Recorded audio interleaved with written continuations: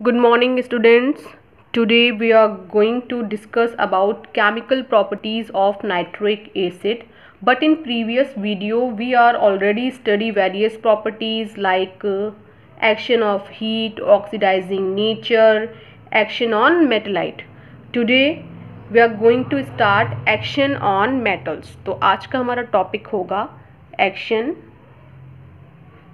On metals okay? हम हमारा जो एच एन ओ थ्री का इफ़ेक्ट होगा इम्पैक्ट होगा या रिएक्शन होगी, आज हमें किस पे स्टडी करनी है? मेटल्स पे ओके प्रीवियस वीडियो में हमने नॉन मेटल्स पे स्टडी किया है, इसके अलावा मेटिलॉइड पे स्टडी किया है क्लियर तो बच्चों, जब हम एच एन ओ थ्री का रिएक्शन मेटल से कराएँगे तो हम एच एन ओ थ्री को यहाँ पर तीन तरह से यूज़ करेंगे। एक बार तो हम वेरी डाइल्यूट फॉर्म में लेंगे। Very dilute it means near about होगा हमारा six percent H N O three okay हम रिएक्शन कराएँगे मेटल से, यहाँ पे जिस मेटल को लेके हमें समझना है, उसे हम सपोज़ करते हैं, जिंक में हम इसे स्टडी करते हैं ओके तो उसके बाद हम लेंगे डाइल्यूट नाइट्रिक एसिड जिसमें नियर अबाउट ट्वेंटी परसेंट हमारा एच एन ओ थ्री होगा। उसके बाद हम कॉन्सेंट्रेट नाइट्रिक एसिड लेंगे, जो seventy percent H N O three होगा हमारा, ठीक है? इन तीनों ही केसेस में हमें एक चीज़ देखने को मिलेगी कि हमारा जो मेन प्रोडक्ट है, वो तो सेम है बट बाय प्रोडक्ट हमारा चेंज हो रहा है ओके तो देखते हैं रिएक्शन में, हमने क्या ले रखा है मेटल हमारा क्या है? जिंक और किसी रिएक्शन करानी है हमें? एच एन ओ थ्री से।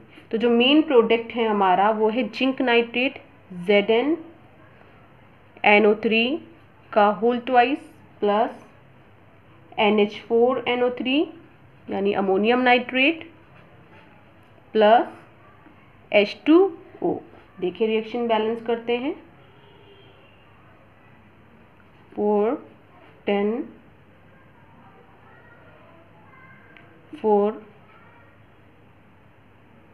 three okay ये रिएक्शन हमारी बैलेंस हो गई। तो ये तो वेरी डाइल्यूट के केस में था। अगर हम डाइल्यूट का केस लें तो क्या होगा? Near about twenty percent H N O three होगा, ठीक है? और मेन प्रोडक्ट हमारा क्या है? जिंक नाइट्रेट, ये क्या होने वाला है? सेम होने वाला है। तो ये देखिए Z N plus H N O three gives out हमारा रिएक्शन होगा। Z N N O three का whole twice plus N two O plus H two O इसे भी बैलेंस करते हैं. Four ten four five okay ये reaction क्या हो गई? हमारी बैलेंस हो गई. लेकिन अगर हम कॉन्सेंट्रेट का केस लें जो near about seventy percent H N O three होगा. अगर उससे रिएक्शन हम कराएँ तो Z N plus H N O three gives out Z N N O three का whole twice plus N O two plus H two O balance करते हैं two लगाते हैं यहाँ पे टू फोर ठीक है? ये रिएक्शन हमारी क्या हो गई है? बैलेंस हो गई। तो हमें ये चीज़ें, इस रिएक्शन से ही समझ में आ रहा है कि हम अगर कॉन्सेंट्रेशन चेंज करते रहें एच एन ओ थ्री का तो जो मेन प्रोडक्ट है हमारा, अगर हम रिएक्शन करा रहे हैं मेटल से तो उसमें तो कोई चेंजेस नहीं आएगा। लेकिन देखिए, ये हमारा क्या है? बाय प्रोडक्ट है। बाय प्रोडक्ट हमारा कंटिन्यू चेंज हो रहा है। क्लियर तो ऐसा सिर्फ़ जिंक के ही साथ नहीं होगा। अगर आप कोई भी अदर मेटल इसकी जगह पे ले लाइक अगर आपने टिन ले लिया है या आपने लेड ले लिया है, ठीक है, या कॉपर ले लिया है तो सबके साथ सेम केस होगा ओके तो बच्चों, एक बार हम ये टिन के एग्ज़ाम्पल से भी समझ लेते हैं। टिन इट मीन्स क्या है ये? एस ठीक है? तो अगर हमारा dilute H N O three है तो देखिए रिएक्शन हमारी क्या होगी? S N plus H N O three gives out S N N O three का whole twice plus N H four N O three plus H two okay कुछ ऐसी हमारी रिएक्शन होगी। अगर हम dilute H N O three लेने के बजाय क्या ले लें? Concentrate H N O three ले लें तो ये रिएक्शन क्या हो जाएगी? हमारी चेंज हो जाएगी। S N plus H N O three gives out H two S N O three plus N O two plus H two O balance करते हैं. फोर फोर ये क्या हो गई हमारी? बैलेंस हो गई. अब कोई आपसे पूछे इसका नेम क्या है तो इसका नेम है मेटा स्टैनिक एसिड लिख दे रही हूँ. मेटा स्टैनिक एसिड ओके ये तो आपको पता ही होगा. ठीक है बच्चों? तो इस कहने का सेंस ये है कि जब भी आपको एच एन ओ थ्री की रिएक्शन किसी भी मेटल से करने के लिए मिले तो आप ये ज़रूर देख लेना कि वहाँ पर आगे क्या लिखा हुआ है। डाइल्यूट लिखा हुआ है या कॉन्सेंट्रेट लिखा हुआ है? क्योंकि दोनों के केस में हमारा जो प्रोडक्ट है, वो क्या हो जाएगा? चेंज हो जाएगा ओके इसके अलावा जो हमारा एच एन ओ थ्री होता है, इसका एक और बहुत इंपॉर्टेंट कैरेक्टर है। ये मेटल्स तो मेटल्स ये नॉन नोबल मेटल्स ओके यानी नोबल मेटल्स लाइक हमारा गोल्ड है प्लैटिनम है तो ये नोबल मेटल्स के साथ भी रिएक्ट करता है। ये सबसे इंपॉर्टेंट कैरेक्टर है इसका। हम इसके, यहाँ पर लेते हैं कि एग्ज़ाम्पल किसका? गोल्ड का एग्ज़ाम्पल लेते हैं। तो गोल्ड का सिंबल क्या होता है? ए यू प्लस किससे रिएक्शन कराएँ? एच एन ओ थ्री से। ये रिएक्शन किसकी प्रेजेंस में होगी? एच सी एल की प्रेजेंस में होगी। और हमें क्या मिलेगा? H A U C L four इसका नेम क्या है? क्लोरोरिक एसिड या hydrogen tetra chloric aurate okay जो बाई प्रोडक्ट हमारा होगा वो क्या होगा? N O C L plus H two O तो हम बैलेंस करते हैं। रिएक्शन क्या होगी हमारी? Two two three eleven six three okay तो ये हमारी ओवरऑल रिएक्शन होगी। इसका नेम अगर आपसे कोई पूछ ले एन का तो नाइट्रोनिल नाइट्रोसिल क्लोराइड इसका क्या होगा? नाइट्रोसिल क्लोराइड क्लियर या नाइट्रोजन ऑक्सी क्लोराइड क्लियर तो ये तो कहने का मतलब है एच नो थ्री जो हमारा होता है, ये इसके पास कैपेसिटी होती है कि नोबल मेटल से भी रिएक्ट कर सकता है। इसके अलावा प्लैटिनम से भी कर सकता है। गोल्ड का एग्ज़ाम्पल ना हो प्लैटिनम का एग्ज़ाम्पल हो तो भी आप सेम रिएक्शन कंडक्ट करा सकते हैं। Plus H N O three plus H C L gives out H two P T C L six इसका नेम क्या है? Chloroplatinic acid okay chloroplatinic acid plus N O C L plus H two O हम balance कर दे reaction को। Two eight two four okay ये reaction हमारी क्या हो गई? बैलेंस हो गई। अब हम आते हैं ग्रुप सिक्सटीन की तरफ़। तो ये कुछ बेसिक प्रॉपर्टीज़ थी एच एन ओ थ्री की, जो केमिकल प्रॉपर्टीज़ थी और काफ़ी इंपॉर्टेंट भी हैं ये सारी प्रॉपर्टीज़। अब यहाँ पर हमारा ग्रुप फिफ्टीन ऑलमोस्ट कंप्लीट हो गया है। हम स्टार्ट करने जा रहे हैं ग्रुप सिक्सटीन। तो सबसे पहले हम कुछ जनरल प्रॉपर्टीज़ पढ़ेंगे ग्रुप सिक्सटीन की, ओके? Group sixteen. ओके? तो सबसे पहले हम ये देखते हैं कि ग्रुप सिक्सटीन में टोटल कितने मेटल्स आते हैं या कितने एलिमेंट्स आते हैं? तो फ़र्स्ट है हमारा एलिमेंट यहाँ पर है ऑक्सीजन ओके? दूसरा है हमारा सल्फ़र थर्ड है हमारा selenium next tellurium polonium. Okay? और last one is livermorium okay? लिख दे रही हूँ। हालाँकि इसके बारे में कोई बहुत ज़्यादा स्टडी तो हुई नहीं है, लेकिन फिर भी लिख दे रही हूँ। Livermorium okay? टोटल इतने एलिमेंट्स हैं जो ग्रुप सिक्सटीन में आते हैं। जिसमें से लिवर मोरियम के बारे में आपको कुछ खास स्टडी नहीं करना है, ठीक है? तो इसका सिंबल क्या होता है? Capital L small V polonium P O tellurium T E selenium S E sulphur S oxygen O okay तो ये इनके क्या होते हैं? सिंबल्स होते हैं। तो इनको ओवरऑल हम क्या बोलते हैं? और फॉर्मिंग एलिमेंट्स के नाम से भी हम इन्हें जानते हैं, ठीक है? इसके बाद हम देखते हैं अक्रेंस कि ये कहाँ पाए जाते हैं। क्या देखने जा रहे हैं? अक्रेंस हम देखने जा रहे हैं क्लियर तो नियर अबाउट ये पता है ना आपको कि 46.6 percent by mass earth crust पे प्रेजेंट होता है ऑक्सीजन। लेकिन बाय वॉल्यूम की बात करें तो 20.946 परसेंट। बाय वॉल्यूम ये अर्थ क्रस्ट में प्रेजेंट होता है। जिसी को आप क्या बोलते हैं, उसी को आप नियर अबाउट कितना बोल देते हो? 21 परसेंट। ओके? ये तो आपको पता ही ना कि ऑक्सीजन 21 परसेंट हमारे एटमॉस्फेयर में प्रेजेंट है। अगर हम सल्फ़र की बात करें तो सल्फ़र होता है 0.03 से लेकर के 0.1 परसेंट। ठीक है?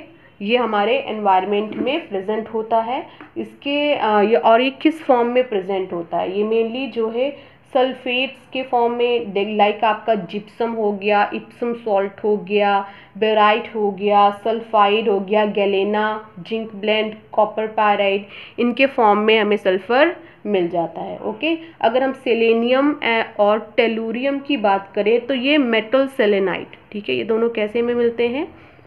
Metal selenides and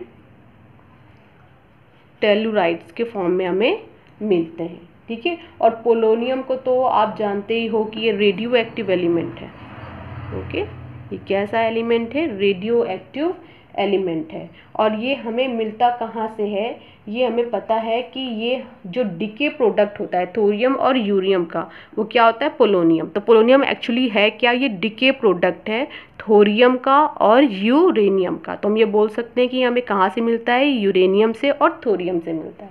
okay? इसके बाद हम बात करते हैं लिवर मोरियम की। तो लिवर मोरियम एक सिंथेटिक रेडियो एक्टिव एलिमेंट है। कैसा है ये? Synthetic. Radio active radio active element है और हमें, हम, हमने अभी तक इसके बारे में कोई प्रॉपर स्टडी करी नहीं है क्योंकि इसका जो हाफ़ लाइफ होता है बहुत ही ज़्यादा शॉर्ट होता है, जिसकी वजह से इसके बारे में अभी पूरी इन्फॉर्मेशन नहीं है। तो हमें जो मेनली पढ़ना है, वो ऑक्सीजन से लेकर के पोलोनियम तक स्टडी करना है, ठीक है? तो अब हम बात करते हैं ग्रुप सिक्सटीन में जितने भी एलिमेंट्स हैं, सबकी इलेक्ट्रॉनिक कॉन्फ़िगरेशन की। इलेक्ट्रॉनिक कॉन्फ़िगरेशन ठीक है?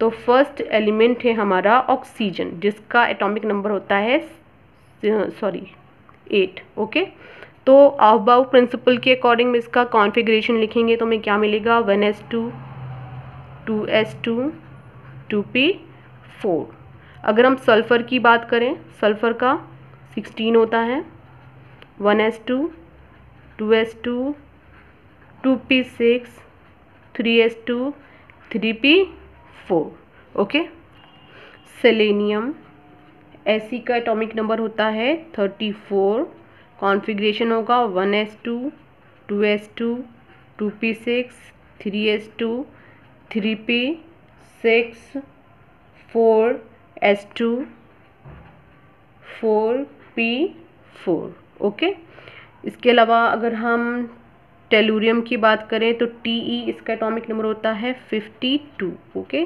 देखते हैं, one S two two S two two P six, three S two, three P six, four S two, four P six, okay? इसके बाद होगा four D ten, five S two, five P four.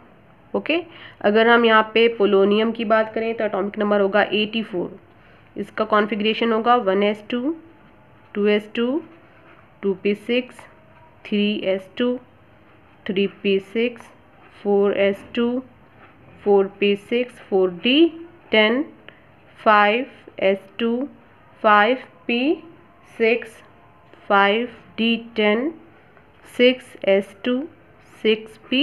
four तो आप इन सारे configuration में last two पे notice करिए।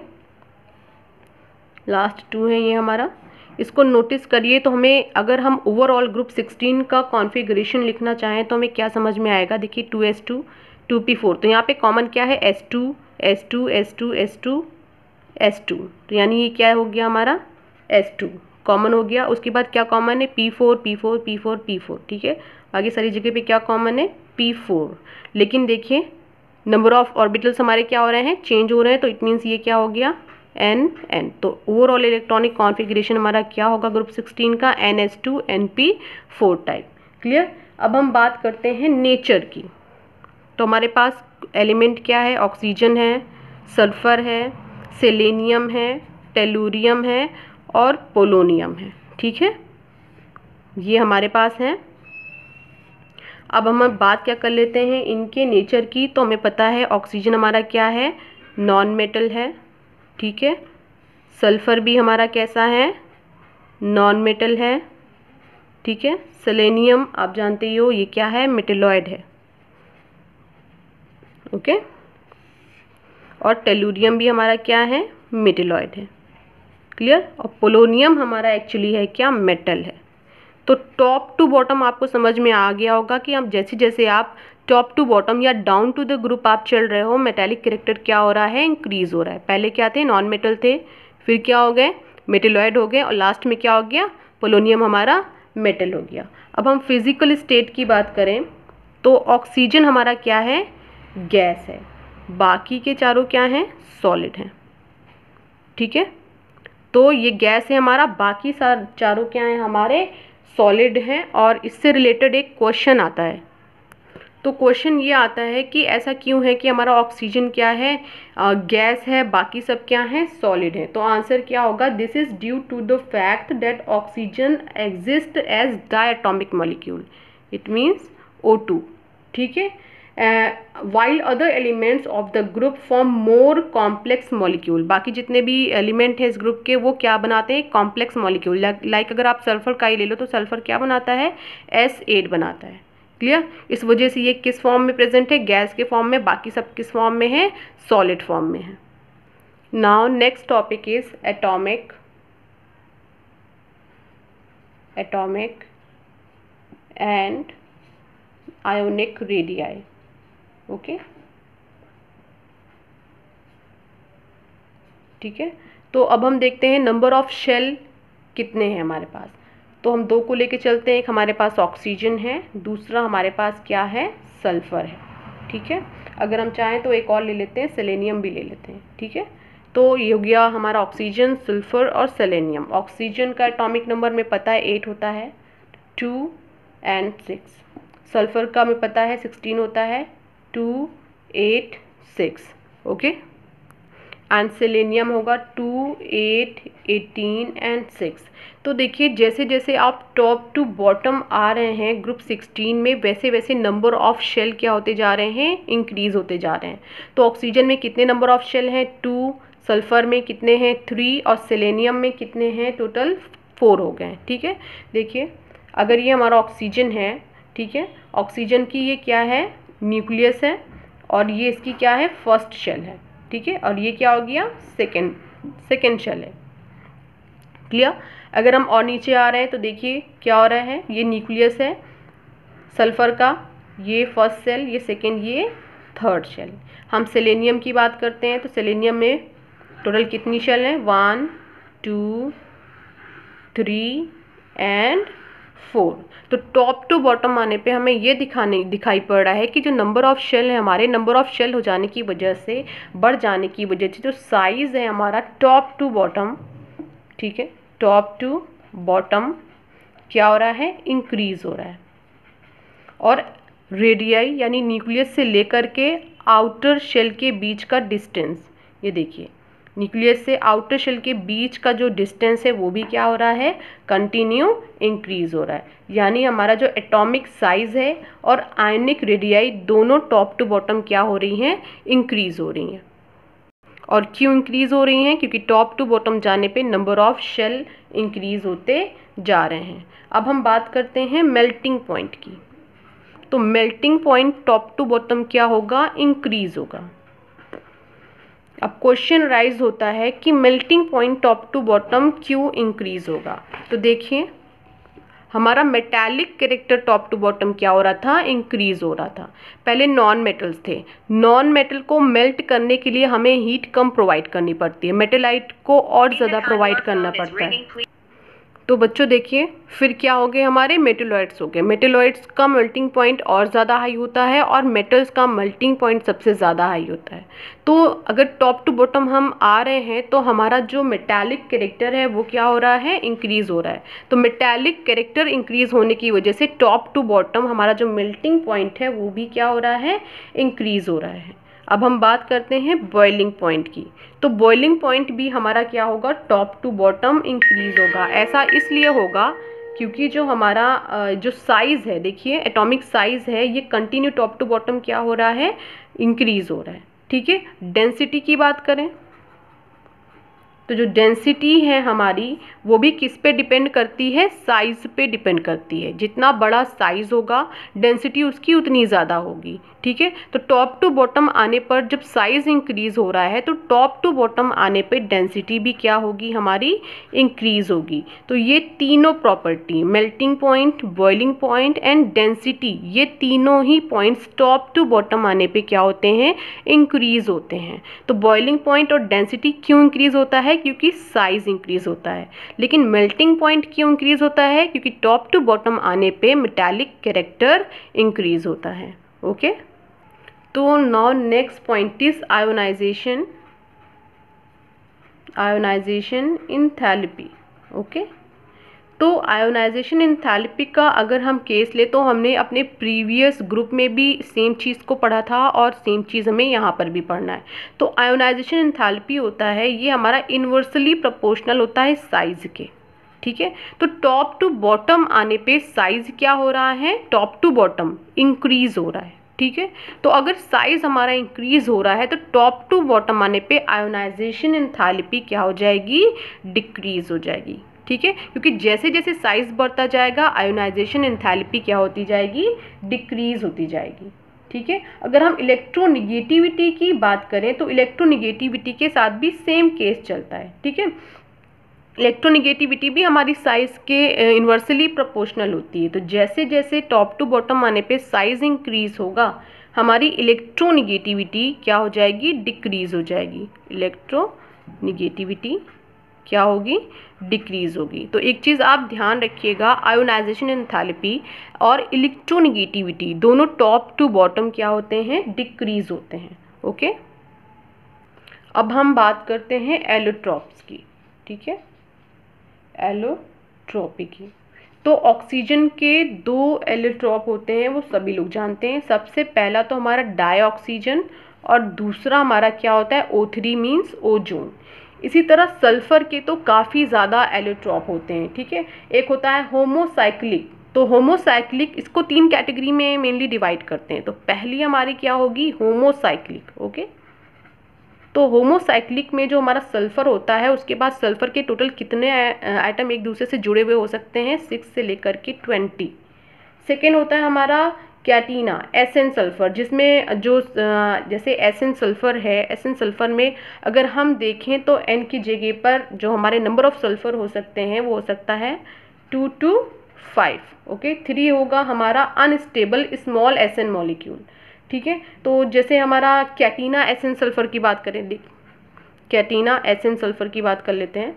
तो जो कैटीना एसन सल्फ़र है, ये क्या होता है? एक चीन पॉलीमर होता है। तो हम देखें तो जो हमारा सल्फ़र के एलोट्रॉप हैं, उनको मेनली हम तीन कैटेगरी में डिवाइड करते हैं। एक होमोसाइक्लिक जिसमें सल्फ़र सिक्स टू ट्वेंटी हो सकते हैं, एक एसन सल्फ़र जिसमें टू टू फाइव हो सकते हैं, और कैटीना सल्फ़र एक पॉलीमर की कैटेगरी होती है, जो चेन पॉलीमर की कैटेगरी में आती है। इसके अलावा अगर हम सेलेनियम की बात करें तो सेलेनियम के टोटल सिक्स एलोट्रॉपिक मॉडिफिकेशन अभी तक देखे गए हैं, जिसका नेम हो सकता ऐसा होता है अल्फ़ा बीटा गामा ठीक है? रेड है मोनोसाइक्लिक है ठीक है, इस तरह से होते हैं। एस ई थ्री रिंग, ठीक है, रिंग के स्ट्रक्चर में भी इसका एलोट्रॉप अभी तक देखा गया है, ठीक है। इसके अलावा अगर हम टेलूरियम पोलोनियम की बात करें तो टेलूरियम और पोलोनियम के भी एलोट्रॉप होते हैं, ठीक है। तो टेलूरियम जो होता है, इसके दो एलोट्रॉप होते हैं, एक होता है मेटालिक दूसरा होता है नॉन मेटालिक ठीक है? पोलोनियम की बात करें तो पोलोनियम में भी टू होते हैं, ठीक है? एक होता है हमारा अल्फ़ा फॉर्म और दूसरा होता है बीटा फॉर्म तो ओवरऑल अगर हम देखें तो ग्रुप 16 में जितने भी एलिमेंट हैं, इनकी जो एलोट्रॉपिक टेंडेंसी है, ये बहुत ज़्यादा हाई है। ऑलमोस्ट सभी के एलोट्रॉप अभी तक डिस्कवर किए जा चुके हैं, जिसमें सल्फ़र तो सबसे टॉप पे है और ऑक्सीजन का जो सबसे स्टेबल एलोट्रॉपिक फॉर्म है, वो क्या है? डाई ऑक्सीजन ओके तो स्टूडेंट्स अभी हमने जितनी भी प्रॉपर्टीज़ पढ़ी हैं atomic number atomic mass electronic configuration covalent radius देखिए कोवेलेंट रेडियस के बारे में हमने पढ़ा था कि टॉप टू बॉटम क्या होता है, ये इंक्रीज़ होता है तो ऑक्सीजन का कितना है? 66 है। 66 pm sulphur 104 pm selenium 117 pm tellurium 137 pm okay polonium 146 तो ये भी क्या हो रहा है? कंटिन्यू टॉप टू बॉटम क्या हो रहा है? इंक्रीज होता जा रहा है। इसी तरह आयोनिक रेडियस को भी आप देखिए 140 184 198 221 230 ये भी क्या हो रहा है? टॉप टू बॉटम इंक्रीज होता जा रहा है। अगर हम आयोनाइजेशन इंथैल्पी की बात करें तो हमने आयोनाइजेशन इंथैल्पी और इलेक्ट्रोनिगेटिविटी के बारे में ये स्टडी किया है कि टॉप टू बॉटम ये क्या होती है? डिक्रीज होती है। तो आप देखिए इनकी वैल्यू कंटिन्यू क्या होती जा रही है? डिक्रीज होती जा रही है। ठीक है? इसी तरह डेंसिटी के बारे में हमने स्टडी किया है कि टॉप टू बॉटम आने पर डेंसिटी क्या होती है? इंक्रीज होती है तो देखिए 1.32 2.06 4.19 3 6.25 अभी पोलोनियम की सॉरी डिस्कवर नहीं हुई है। ठीक है? तो ये क्या हुआ है? ये भी कंटिन्यू क्या हो रहा है? इंक्रीज हो रहा है। मेल्टिंग पॉइंट को भी, अभी हमने स्टडी किया है टॉप टू बॉटम क्या होता है? इंक्रीज होता है। तो देखिए fifty five three ninety three four ninety seven twenty five five twenty ये भी क्या हो रहा है? टॉप टू बॉटम इंक्रीज हो रहा है। बॉइलिंग पॉइंट का भी सेम केस था, ये भी टॉप टू बॉटम क्या हो रहा है? इंक्रीज हो रहा है। तो ये वैल्यूज़ देखिए, ये भी कंटिन्यू क्या हो रही हैं? इंक्रीज हो रही हैं। Last one is oxidation state तो ऑक्सीडेशन स्टेट को हम कल डिटेल में स्टडी करेंगे। इसके अलावा हम एबनॉर्मल बिहेवियर भी ऑक्सीजन का स्टडी करेंगे। जैसे हमने ग्रुप फिफ्टीन में नाइट्रोजन का स्टडी किया था ग्रुप 16 में हम ऑक्सीजन का एबनॉर्मल बिहेवियर स्टडी करेंगे ओके तो कल के जो हमारे टॉपिक होंगे, वो होगा abnormal behaviour of oxygen and oxidation state तो ग्रुप 16 के ऑक्सीडेशन स्टेट क्या होते हैं और एबनॉर्मेलिटी कैसी एबनॉर्मेलिटी ऑक्सीजन इस पर्टिकुलर ग्रुप में शो करता है, ये दो चीज़ें हम कल स्टडी करेंगे ओके थैंक यू क्लास